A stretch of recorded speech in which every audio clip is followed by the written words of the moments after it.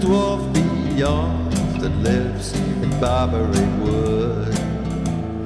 Fetch me some honey, but be sure you don't laugh. He hates little girls that are rude, rude. He hates little girls that are rude. Ah.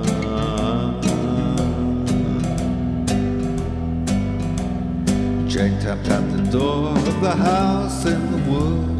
The dwarf looked over the wall. He eyed her so queer, 'twas as much as she could to keep from laughing at all, at all.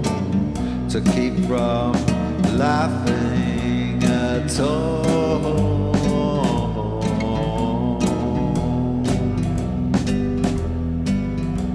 His shoes down the passage came clunk, clunk, clunk. And when he opened the door, he croaked so harsh, 'twas as much as she could to keep from laughing the more, the more to keep from laughing more. Sat with his bushy red beard, he stood pricked out to double its size.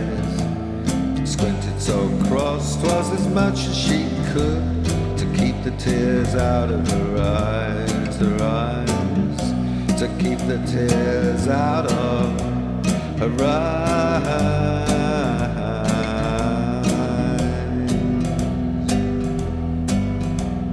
Slammed the door and went clunk, clunk, clunk. While in the porch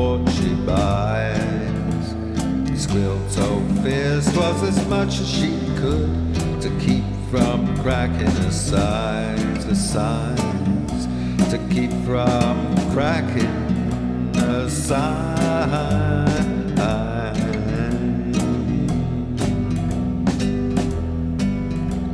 He threw a pumpkin over the wall and melons and apples beside, so oh, thick in the air that to see them all laughed and laughed till she cried, cried, cried. Jane laughed and laughed till she cried. Down fell her teardrops, a pitter pan pan. Red as a rose she grew. Kaka said the dwarf, is it crying you're red? It's the very worst thing you It's the very worst thing you could do. Oh.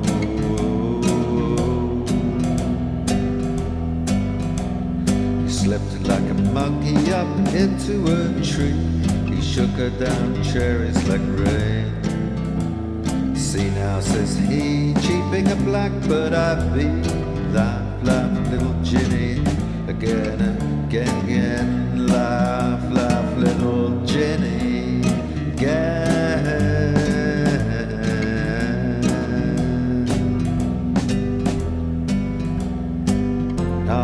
what a strange, what a glance that you duet from a house, the deeps of the wood. Such shrill and such harsh voices never met yet, a laughing as loud as they could, could, could, a laughing as loud as they could.